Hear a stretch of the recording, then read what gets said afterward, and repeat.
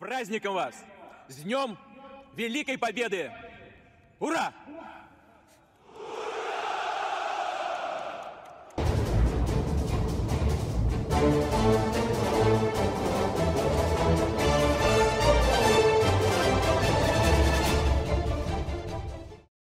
Hello friends जब आप मुल्कों के लीडरों को देखते हैं तो आपको अंदाज़ा नहीं होता कि वो किस कदर दबाव में हैं उनका हर काम पेशगी मनसूबाबंदी के तहत होता है, जिसका मतलब ये है कि ये एक मिनट भी अपनी मर्ज़ी से नहीं गुजार सकते।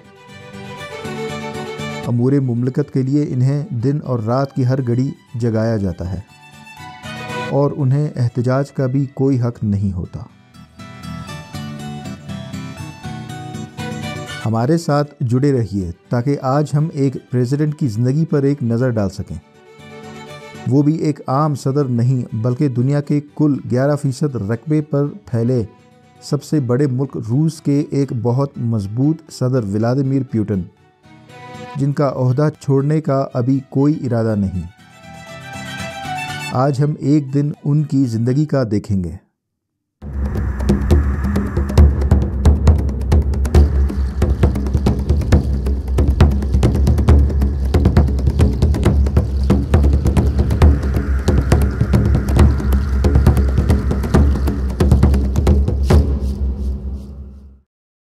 व्लादिमीर प्यूटिन का शुमार सियासत की दुनिया के सबसे ख़तरनाक खिलाड़ी के तौर पर होता है। वेस्टर्न मीडिया के मुताबिक उनका शुमार दुनिया के अमीर तरीन लोगों में होता है।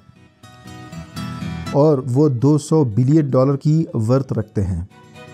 मगर रूस की सरकारी अथॉरिटीज़ वेस्टर्न मीडिया के इस दावे को मन घड़त करार देते हैं। आपने सदर प्यूटिन की मुख्तलिफ़ खेल खेलने की तस्वीर भी देखी होंगी। प्यूटन की कई फ़ोटोशॉप शुदा तस्वीर बहुत वायरल हुई हैं, जिनमें से एक ये है। बहुत से लोगों को वाकई यकीन था कि प्यूटन रीच की सवारी करते हैं। हो सकता है आप ये भी सोचें कि जब वो सुबह उठता है तो एक रीच उसके लिए नाश्ता लेकर आता है। लेकिन इस अमीर, मशहूर और ताकतवर शख्स की ऐसी ज़िंदगी बिल्कुल भी नहीं है।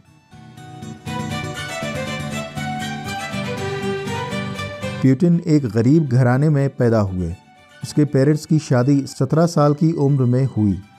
वो 11 साल की उम्र से जोडो कराटे खेलते आए हैं और जोडो में बहुत सारे रिकॉर्ड्स भी तोड़े हैं। सदर प्यूटिन दो बार, यानी 2014 और 2021 में नोबल पीस प्राइज़ के लिए नामजद हुए। वो भी अपनी हामियों की तरफ़ से नहीं, बल्कि अपने मुखालफी की तरफ़ से। वो अमूमन दोपहर 12 बजे उठता है। वो रोज़ाना नाश्ते में पनीर, जई, दलिया और ऑमलेट खाता है। लेकिन ये नाश्ता उसके लिए उसके अपने किचन से होना चाहिए वगरना वो नहीं खाता। यहाँ तक के खाने के खाम अज्जा, मसलन फल और सब्ज़ियाँ वगैरह भी किसी और जगह से नहीं लिए जाते। सब्ज़ियाँ और फल महल के साथ वाली ज़मीन में काश्त किए जाते हैं। खाने की दूसरी चीज़ें भी एक ख़ास जगह से आती हैं, जो शनाख्तशुदा और जेर निगरानी होती हैं। क्यूटन के खाने की अपनी ही स्टोरी है। उसे खाने में बहुत कम आइटम्स और कुछ मखसूस चीज़ें खाना पसंद है। ऐसा होता है कि उसके बावरची ने कई बार उसके लिए बेहतरीन खाना पकाया हो। लेकिन उसने एक बाइट भी नहीं ली है। सिर्फ़ इतना कहा कि उसे इसकी शक्ल पसंद नहीं है। खाना खाने में इंतहाई हद तक हसास और मोहतात रहता है, स्पेशली जब बैरून मुल्क दौरों पर जाता है। उस वक्त ये मसला मज़ीद पेचीदा हो जाता है। इसका एक काबिल अतमाद बावरची है जो पूरी दुनिया में कहीं पर भी प्यूटन के साथ ही रहता है। चाहे उसे एक उबला हुआ अंडा ही क्यों ना खाना हो, वो इसी के हाथ का खाएगा। प्यूटिन जब दूसरे ममालिक के सरबराहान की ज़ियाफ़त में शरीक होता है तो अपने बावरची को वहाँ के बावरची खाने में भेजता है और उसके हाथ का अलग से तैयार करदा खाना खाता है। वो कभी दूध नहीं पीता। कोई नहीं जानता कि उसे लेक्टोज से एलर्जी है या दूध पसंद नहीं। या शायद वो डरता हो, क्योंकि दूध में आसानी से जहर मिलाया जा सकता है। रूस में सियासतदानों को जहर देने की भी एक तारीख है। अभी हाल ही में प्यूटन के मुखालिफ सियासतदान को जहर दे दिया गया था। अगरचे वो ज़िंदा हैं, लेकिन फिर पहले जैसा कभी नहीं हो पाएगा। आइए वापस क्रेमलिन चलते हैं। प्यूटन के महल के साथ वाला फॉर्म, जहाँ प्यूटन के लिए फल और सब्ज़ियाँ उगती हैं, वहाँ के तमाम मुलाजमीन ऑर्थोडॉक्स चर्च से हैं, जिसकी वजह से प्यूटन उन पर मुकम्मल अतमाद करते हैं। खैर, नाश्ता करने के बाद वो कॉफ़ी पीता है और दोपहर एक बजे काम के लिए तैयार हो जाता है। लेकिन ऑफ़िस जाकर काम शुरू करने में अभी वक्त है, क्योंकि नाश्ते के बाद वो पूरे दो घंटे स्विमिंग करता है। दो घंटे तक तालाब में ऊपर नीचे आता जाता है, क्योंकि उसका कहना है कि उसकी सेहत के लिए बहुत ज़रूरी है। तैराकी के इन दो घंटों के दौरान वो यकीनन मुल्क के बारे में सोच रहा होगा। या शायद उसके जहन में सिर्रे से अमूर मुमलकत हो ही ना।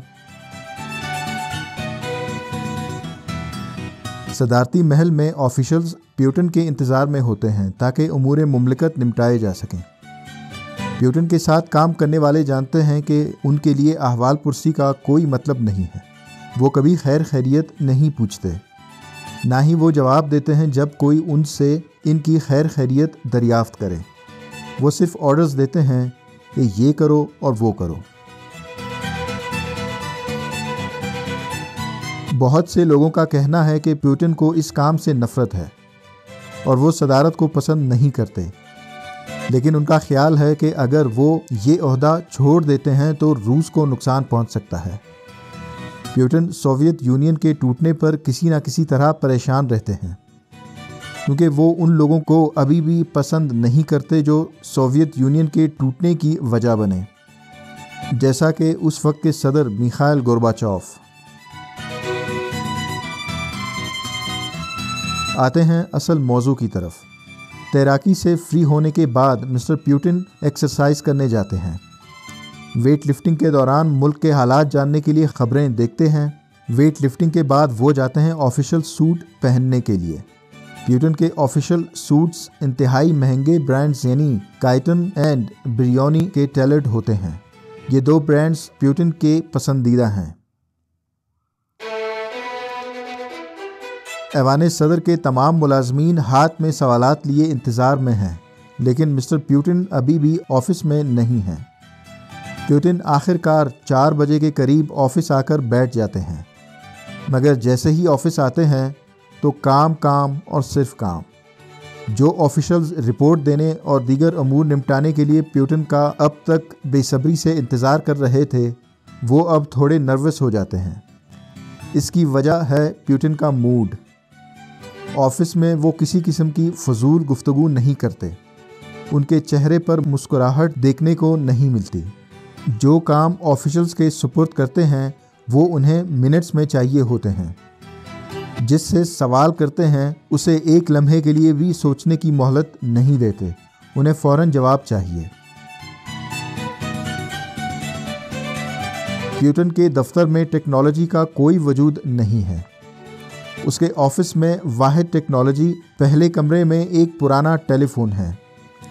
बाकी सारे काम सिर्फ़ कागज़ों पर किए जाते हैं। मुशीरों से मिलते हैं, ज़रूरी डॉक्यूमेंट्स पर साइन करते हैं। कागज़ी कार्रवाइयों के बाद प्यूटिन दुनिया की तमाम अहम खबरें पढ़ते हैं। उन्हें जर्मन अखबार पढ़ना पसंद है। वो जर्मन ज़बान भी अच्छी तरह जानता है। सोवियत दौर में प्यूटन मशरकी जर्मनी में के जो कि रशिया की खुफिया एजेंसी थी, का एजेंट था और जर्मन जबान अच्छी तरह जानता है। चलें, आगे बढ़ते हैं। संजीदा और कड़क जेस्टर के साथ वो काम में बिज़ी रहते हैं। शाजो नादर ही कभी वो अमले के साथ मज़ाक करता है। कागज़ी कार्रवाई और ख़बरें पढ़ने के बाद उन्हें आज का लाहा अमल और मुलाकातों का शेड्यूल पेश किया जाता है। इनका लाहा अमल या शेड्यूल छः माह पहले प्लान किया गया होता है। कि आज के दिन उसने किस किस से मिलना है या आज के दिन वो किस सरबराह ममलिकत से फ़ोन पर बात करेंगे। दीगर सदूर या सरबराहान ममलिकत के बरअक्स प्यूटिन मुलाकातें करना और अपने इर्द गिर्द जमकठा लगाए रखना बिल्कुल पसंद नहीं करते। वो फ़ोन पर बात करने को ज़्यादा तरजीह देते हैं। इस लिहाज से कोरोना सीज़न के वो फ़ैन रहे होंगे, क्योंकि कोरोना ने सारी मीटिंग्स वगैरह फ़ोन या ऑनलाइन पर शिफ्ट कर दी थी। प्यूटिन जब अपने महल या ऑफ़िस से निकलते हैं तो सिर्फ़ दो जगहों पर जाते हैं। एक क्रेमलिन और दूसरा हवाई अड्डा। इसके अलावा उनका कहीं पर भी जाना नहीं होता। क्रेमलिन भी एक तरह से कहें कि ज़बरदस्ती भेजना पड़ता है उन्हें, क्योंकि सारी मुलाकातें वहीं पर तय होती हैं, जिसमें उनकी शिरकत लाजमी होती है। लेकिन मुलाकातों पर जाने की भी कहानी बड़ी दिलचस्प है। जब वो मीटिंग्स में जाता है तो कोई उसकी तरफ़ नहीं देखता, ना ही वो किसी की तरफ़ देखता है, जिसका मतलब है कि वो ना तो सलाम करता है और ना ही अलविदा। वो मुलाकातों में अपने बारे में कुछ नहीं कहते। मुलाकातों में ज़्यादातर उनके मुशीर बोलते हैं, या फिर उन्हें जो लिख कर दिया गया होता है, वो उसी से देख कर बोलते हैं। मीटिंग्स ख़त्म होते ही हल्की हल्की तारीकी में प्यूटन क्रेमलिन छोड़कर महल की तरफ़ रवाना होते हैं। ये वक्त जब हल्की तारीकी और मौसम सर्द हो रहा हो, प्यूटन के लिए बेहतरीन वक्त होता है। क्योंकि ये वो वक्त होता है जब उसने अपने सबसे अहम काम करने होते हैं। या यूँ समझें कि उनके असल काम का दौरानिया अब शुरू हुआ चाहता है। वो रातों को जागना और काम करना ज़्यादा पसंद करता है। बेचारे स्टाफ जो सुबह सवेरे काम पर आते हैं, वो ये कहने की ज़रूरत नहीं कर सकते कि देर हो रही है और मैं जाना चाहता हूँ। क्या आपको लगता है कि प्यूटन अल्कोहलिक होंगे? नहीं, वो अल्कोहल को बिल्कुल भी हाथ नहीं लगाते, बल्कि नफ़रत करते हैं। बल्कि वो ये कहते सुने गए हैं कि रूस में अल्कोहलिक इतने ज़्यादा क्यों हैं? सदर प्यूटन चाय पीते हैं और वो भी बहुत ज़्यादा। आप सोच रहे होंगे कि प्यूटन अपने बच्चों से हर घड़ी मिलते होंगे, लेकिन ऐसा कुछ भी नहीं है। वो हफ्तों और महीनों नहीं, बल्कि साल में एक या दो बार अपने बच्चों से मिलते हैं। प्यूटन के पास तीन कुत्ते हैं, कौनी, बफ़ी और वर्नी, जिनकी वो रोज़ाना देखभाल करता है और उन्हीं के साथ खेलता है। सहाफ़ी हर वक्त उनकी तस्वीर लेने के इंतज़ार में रहते हैं। जब प्यूटन अपने कुत्तों के साथ खेल रहे होते हैं, तब ये बेहतरीन मौका होता है सहाफ़ियों के लिए ताकि उनकी तस्वीर बना सकें। ताहम कुत्तों को जब सहाफ़ियों की मौजूदगी का एहसास होता है तो वो भोंकना शुरू कर देते हैं। प्यूटन को ये नज़ारा बहुत अच्छा लगता है, बल्कि वो अपने उस फैट को एक बिस्किट इनाम के तौर पर देते हैं, जो वहाँ मौजूद किसी रिपोर्टर को ढूंढ सके।